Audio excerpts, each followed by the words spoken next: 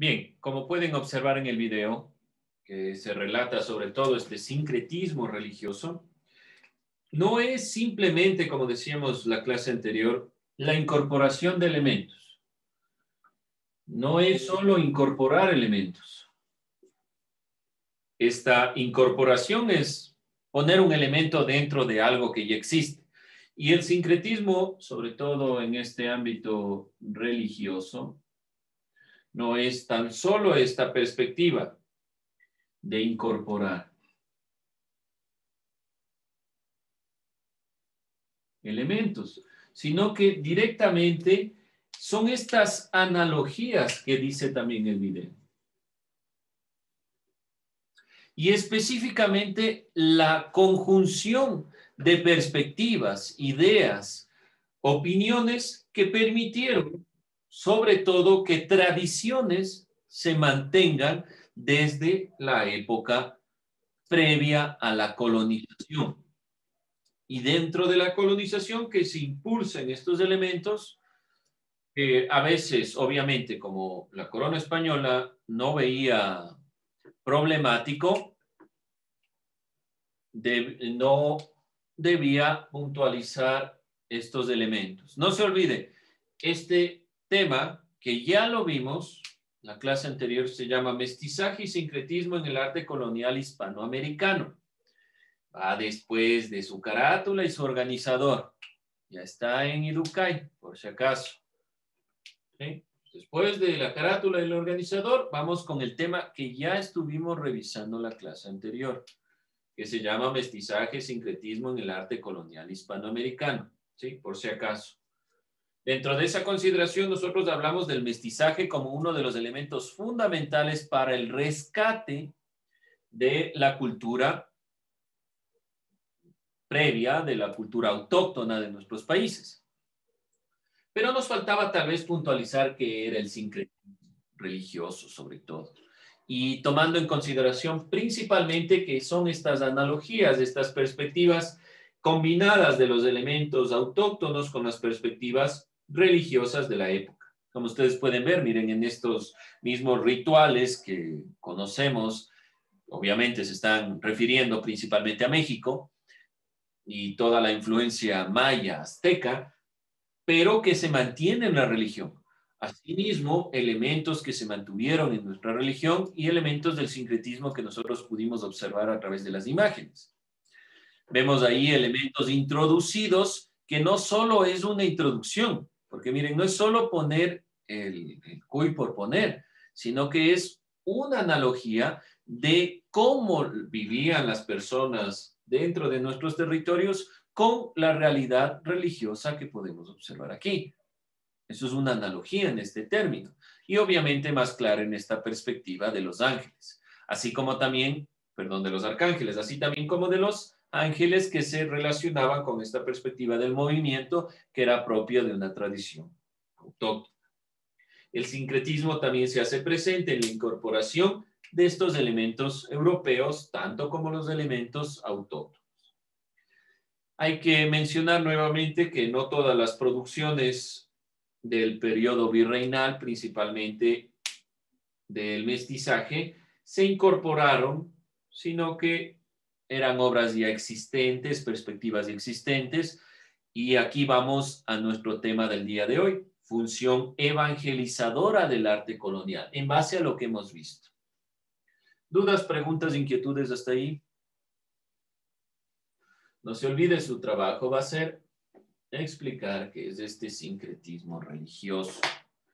El primer tema era el mestizaje y el sincretismo y vamos con la función evangelizadora.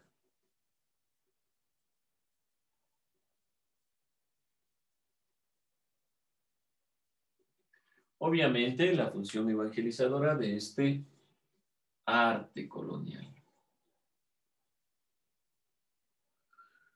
Una de las razones por las cuales España obtuvo licencia para reclamar su dominio sobre los territorios americanos fue su compromiso para evangelizar a los nativos.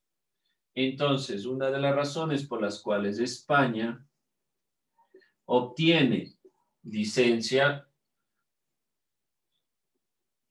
aunque suene paradójico, no creo que nadie pueda dar licencia para cuestiones de ese estilo, pero de todos modos, por decirlo de alguna forma, es por lo cual los demás países reclamaron también el territorio, le permiten tener licencia para reclamar su dominio.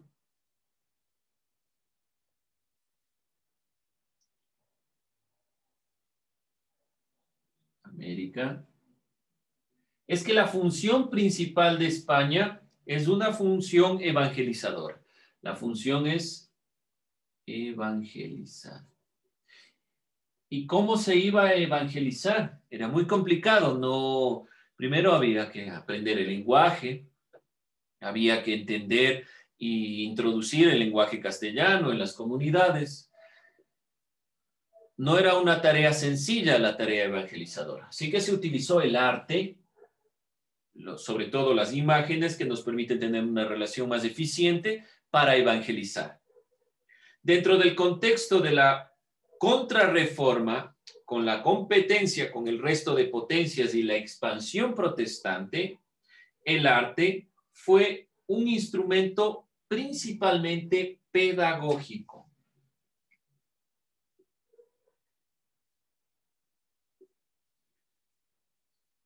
Pedagógico. ¿Qué quiere decir pedagógico aquí?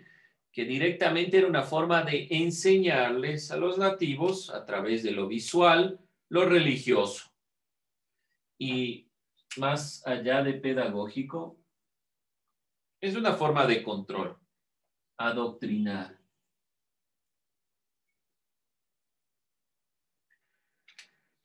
Los conventos, monasterios e iglesias empezaron a pedir obras de carácter religioso a los artistas de la época es un punto central de donde se va a congregar toda esta conformación. Recordemos, por ejemplo, la escuela quiteña. La escuela quiteña y todo este proceso es directamente un instrumento para que el pueblo pueda conocer esta realidad. ¿Quiénes eran los que principalmente estaban dentro de, por ejemplo, la escuela quiteña y todos estos procesos? ¿Qué grupo étnico? Qué grupo de etnia estaba dentro de los cuales realizaban principalmente las obras en los templos religiosos. ¿Quiénes eran?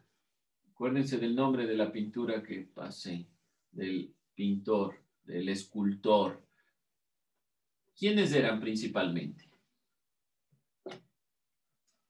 ¿Qué grupo étnico era el que, era el que generaba estas obras?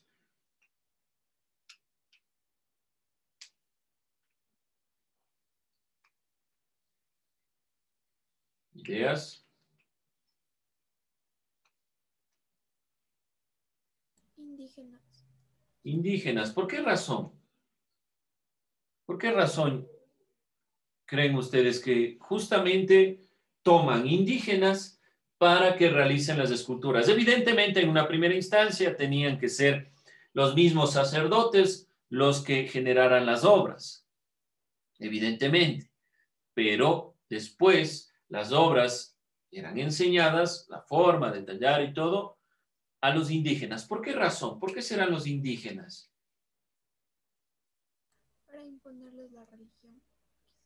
Bueno, sí, para imponer la religión, eso es uno de los fundamentos supuestamente evangelizar, que es una imposición. ¿Qué más creen ustedes?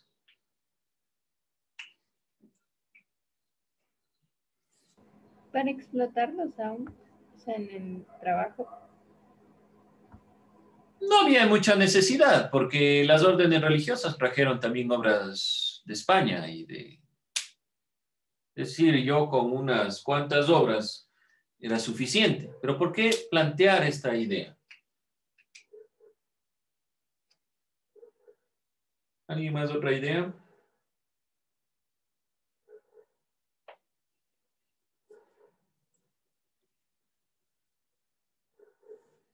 No se olviden, sobre todo por el adoctrinamiento. pero para los indígenas era importante. ¿Por qué razón? Acuérdense de Eugenio Espejo. ¿Por qué Eugenio Espejo pudo estudiar? Porque su padre estaba agregado a una de estas órdenes religiosas y era la posibilidad en el mestizaje de ascender socialmente. Entonces era importante de lado y lado, digamos, en una cierta forma. Tal vez en la época colonial ya netamente asentada. La primera parte, directamente las órdenes religiosas, podemos nosotros puntualizar que introdujeron en América grabados, cuadros, en general arte. Y de ahí se fue copiando. Pero algo que pasó muy interesante y por lo que vimos lo del sincretismo, es que no fue simplemente una copia, sino que dentro de esa copia se fueron generando elementos particulares de los pueblos autóctonos. Se fue dando este sincretismo. Los primeros maestros de arte que tuvieron los pobladores americanos se encontraban precisamente, como les digo, en los sacerdotes.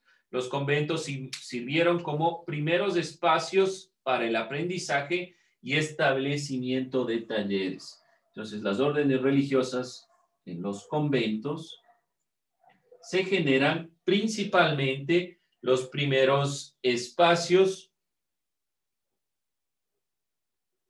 para que se den talleres ya de arte.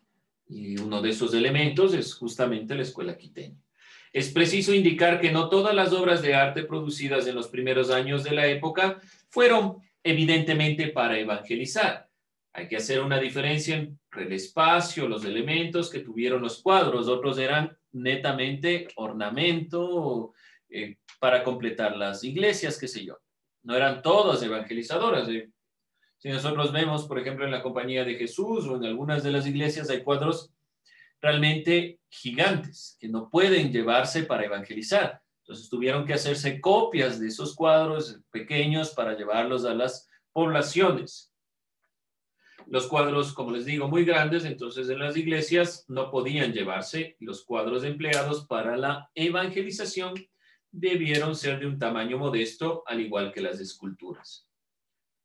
Dentro de esta consideración también, si nosotros vemos, y está muy ligado a nuestro pensamiento, muchas de las interpretaciones religiosas, nuestro colegio tiene un nombre de un eh, símbolo religioso, que es una interpretación de la Virgen. La Virgen del Cisne es una interpretación religiosa. De ahí cualquier elemento propio de sus creencias no es tanto en este punto relevante, sino más que nada la perspectiva de la interpretación. ¿Por qué tantas vírgenes? ¿Por qué tantas interpretaciones? Porque realmente cada uno de los pueblos ve de diferente forma un mismo elemento y ese es propiamente el sincretismo. Cada una de las vírgenes tiene una interpretación diferente pero no son diferentes, digamos así. Y es algo que deja muy claro esta evangelización en el arte colonial. ¿Por qué razón y la crítica principal de las otras posturas cristianas al catolicismo es que utilizan muchos elementos simbólicos? Varias interpretaciones de la Virgen, varias interpretaciones de Jesucristo.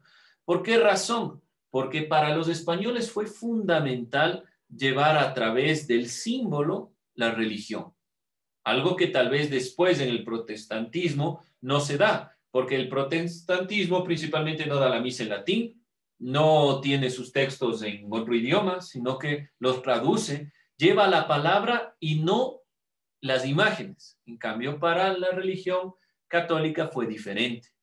Entonces, esa crítica a los símbolos en cierta parte no está tan, diría yo, históricamente también fundamentada, porque de todos modos los símbolos tienen un significado y cada uno de los símbolos, dependiendo de la postura y del lugar, tienen un significado específico, que es lo que nosotros estamos puntualizando aquí. Dentro de esta consideración, las obras de arte en el interior de las iglesias recreaban una atmósfera propicia para propagar la doctrina cristiana. Dentro de los primeros conventos e iglesias, no son conventos como, como los que están adyacentes a la compañía de Jesús, de los jesuitas, ni son iglesias como la misma compañía, sino los primeros conventos de iglesias no tenían esa finalidad de mostrar todo esos elementos característicos del barroco, sino eran simples construcciones.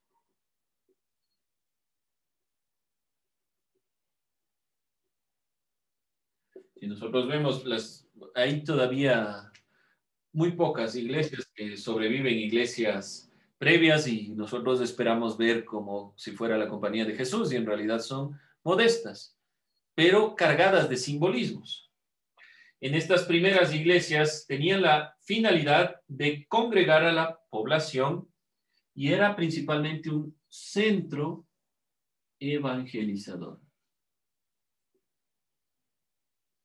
De ahí la importancia de las iglesias y de los conventos. Muchos de los historiadores han enfocado su atención en los grandes templos y edificaciones barrocas de la época colonial. Como les digo, uno de los grandes exponentes del barroco colonial es la compañía de Jesús. Evidentemente, la sobrecarga de elementos, la utilización del pan de oro, la gran cantidad de objetos, los historiadores, algunos historiadores consideran como importantes esos elementos para hablar de esta relación con la realidad, entre las mezclas, entre las perspectivas, pero estos conventos de iglesias fueron los primeros. Las características de su arquitectura al funcionar elementos religiosos con elementos propiamente indígenas facilitaron el proceso evangelizador. Dentro de este contexto, muchas iglesias y santuarios se construyeron sobre espacios de gran importancia para los indígenas. Es algo que pasa en todas las culturas. El momento que se impone una nueva religión, una nueva perspectiva, en los lugares de los templos, para que las personas asocien esos nuevos templos con sus anteriores templos, fue una de las tácticas de la religión católica. Imponer estas iglesias y estos templos sobre los antiguos templos indígenas. Sobre santuarios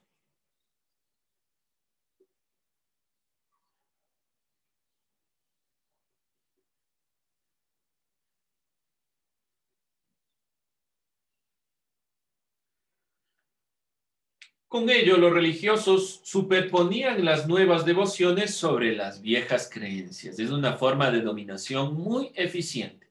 La forma de dominación más eficiente de los españoles no fue las armas, no fue ni las enfermedades, ni imponer el lenguaje, fue la religión. Fue la forma más eficiente de mantener dominado al pueblo indígena. ¿Por qué razón? Porque evidentemente bueno, primero superponen, si se dan cuenta. Entonces, viene esta nueva religión y les impone normas, reglas para llegar a supuesta vida después de la muerte. Que hay concepciones también en América y en todas las consideraciones de lo que son los pueblos originarios dentro de la y las civilizaciones dentro de la humanidad que tienen perspectivas muy parecidas. Entonces se apropian de esa perspectiva e introducen que la verdad está dentro de esta guía. Dentro de esta guía, entonces los indígenas se apropian, se apersonan de estas consideraciones y ya prácticamente de una u otra forma están dominados. No soy crítico a sus creencias ni nada por el estilo, pero hay que ser sinceros. La forma más eficiente en la cual los españoles mantuvieron a la población dominada es a través de la religión. La religión fue muy eficiente para mantener un control. Y muchas de las normas y las reglas que se instauraban dentro del código propiamente incaico, por ejemplo, se relacionan mucho con las perspectivas de los mandamientos. Entonces era muy, muy eficiente, muy fácil mantener esta consideración. A pesar de que la tradición se vio afectada por el exterminio y la muerte de la población nativa, el sincretismo fue una de las principales alternativas para conservar ciertas creencias. Es decir, que de todos modos, y aun cuando fue una forma de control, no pudieron de todo controlar toda esta consideración. Vamos a ver posteriormente, hay dos procesos en América Latina de la evangelización, porque en un momento se da el proceso evangelizador del cual estamos hablando y se cree que ya se llegó a la evangelización. Y en muchos indígenas conservaban todavía sus idolatrías, sus ídolos. Se generó nuevamente una nueva incursión evangelizadora mucho más fuerte que la anterior, tratando de eliminar todo tipo de idolatrías. Pero si nos damos cuenta, es tan fuerte esta consideración que en las primeras épocas republicanas en el Ecuador, los presidentes conservadores, y uno de ellos, el caso más evidente, García Moreno, estaban muy ligados a la iglesia. Es decir, que seguía siendo los países latinoamericanos con esta perspectiva. La idea no es, por ejemplo, de una religión creer o no creer, o en el caso de que se esté en contra de estos procesos, ir, que no se crea, es decir, que se vaya en contra de la propia religión. La fe no tiene nada que ver con la imposición de una religión, sino, evidentemente, la posibilidad de tener diferentes puntos de vista. Cuando un pueblo conquista a otro, impone ideas. Y eso es algo que debemos nosotros ser muy críticos en estos procesos evangelizadores. Bien, jóvenes, preguntas, dudas, inquietudes, críticas. Profe, yo no estoy de acuerdo, no, no, no se invente, no diga eso, qué feo como habla, o va a decir eso. Cualquier opinión es válida, siempre y cuando ustedes hablen. Bueno, entonces vamos a cerrar simplemente con lo que les pedí.